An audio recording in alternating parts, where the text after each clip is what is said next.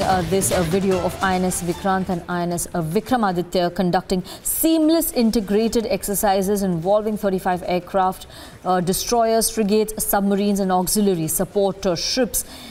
Indian Navy there showcasing its prowess in the Arabian Sea. We have Abhishek uh, joining us on the phone line to give us more details about the operations uh, that are taking place in uh, the Indian Ocean right now. Abhishek, uh, you know, this is the first time probably both these aircraft carriers are flexing their naval might in, in the seas. What more details can you get us?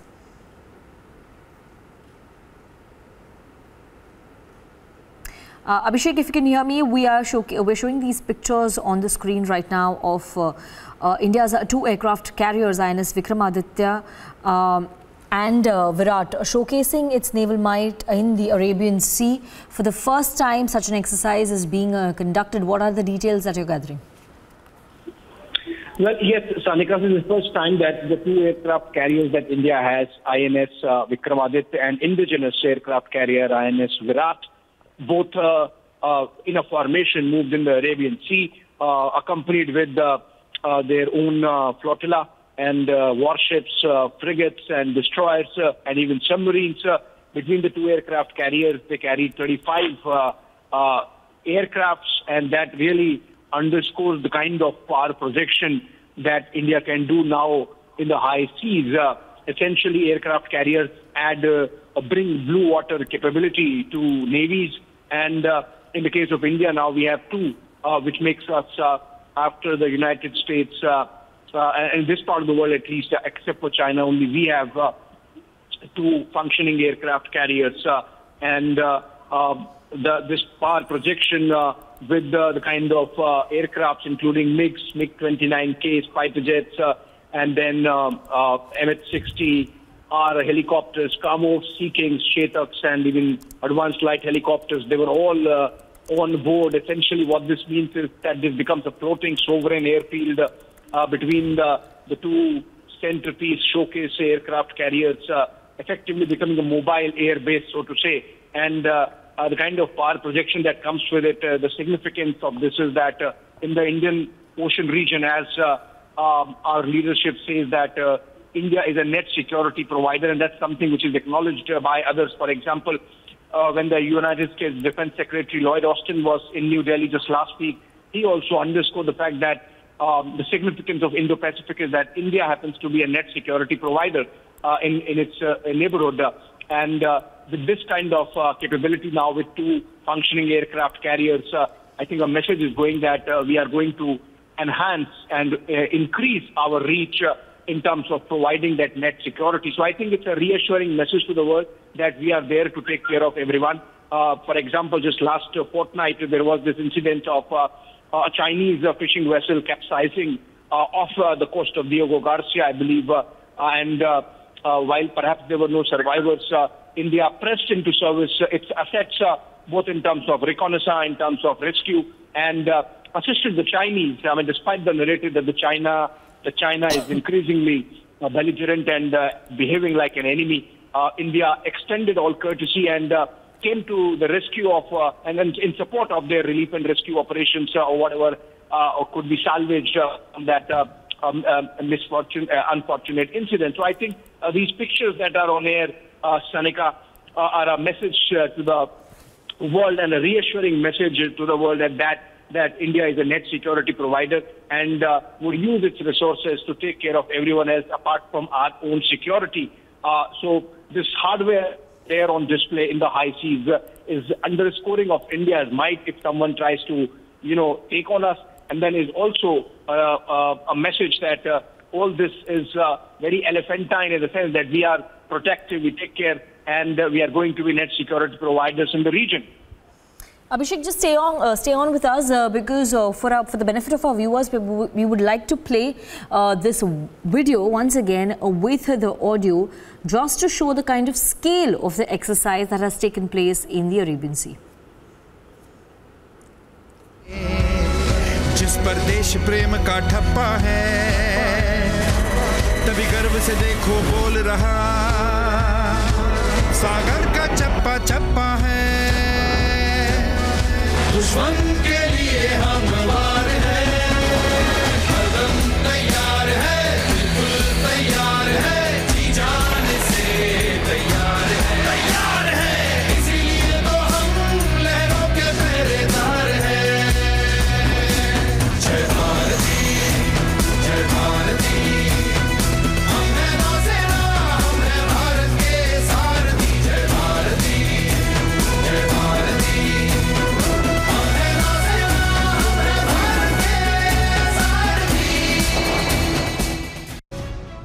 Abhishek, uh, coming back to you, we've seen this uh, video and we've seen how uh, basically these exercises were conducted even in the night time and they've met with huge success. Uh, this is an exercise involving at least 35 aircraft, destroyers, uh, frigates, submarines and auxiliary support uh, ships. if you can shed more light on the kind of aircraft carriers that we have, the INS Vikrant and INS Vikramaditya, indigenously made symbols of Atmanirbhar Bharat that we have right now. Uh, you know, if you can, uh, if you can elaborate on the salient features of these two aircraft carriers that we have. Yeah, uh, first uh, about the scale of the operation, uh, Sanika, since you mentioned, uh, it's a spectacular display of Navy's multi-carrier operations capability, coordinate. In the pictures, when you see, it's not just the two aircraft carriers. so there is a whole paraphernalia that goes uh, or comes with it. Uh, so each aircraft carrier is essentially a flotilla with uh, a set of destroyers and frigates accompanying. Remember, aircraft carriers by themselves are not armed. They are essentially air bases, floating air bases carrying those aircrafts. And uh, so the frigates and the destroyers accompany even submarines. So, so in the in the pictures that we see, we are seeing those aircraft carriers and the accompanying uh, flotilla of frigates and destroyers uh, and warships. But there are submarines also down there, apart from the aircraft, uh, which you can see flying on and off uh, the board of uh, the two aircraft carriers. So it's a huge operation by itself.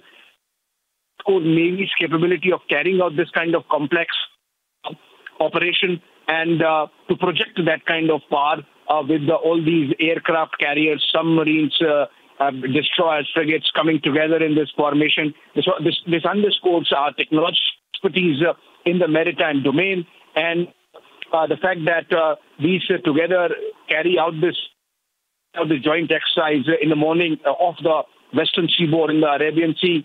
Um, and, and, and, and, and with all these aircrafts that are there, 35 of them, including the MiGs, I was talking about uh, the Kamov and uh, Sea King uh, helicopters, also Chetak and Advanced helicopters, apart from MH-60R. Essentially, uh, these mobile bases, they, they, they, can be positioned anywhere and allow for increasing mission flexibility.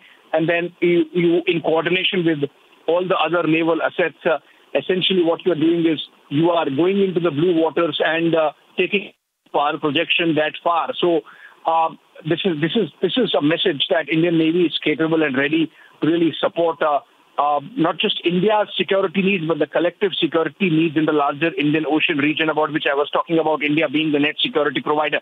Insofar as uh, uh, the specifics of uh, the two aircraft uh, aircraft carriers go, I mentioned the aircraft that are on board. More are being in, integrated. Remember, India is in talks with uh, both France, United States. We have to see whether we get the Air Hornets or the Rafale naval version um, whichever comes uh, and would be on board a dedicated squadron for the INS uh, Vikrant, uh, the indigenous aircraft. Uh, remember, the air it's uh, 100% of it is steel in manufactured in India, innovated for uh, uh, our requirements. The design itself innovated for our requirements. Uh, about 500 uh, MSMEs uh, have worked on uh, other components that go into the making of the aircraft carrier, and they have in turn hundreds and thousands of patents going for whatever they have delivered. Uh, the avionics, uh, the electric, the electronic component is Israeli, uh, and and and and maybe. Uh, you know, picked up from other places, but then innovated and integrated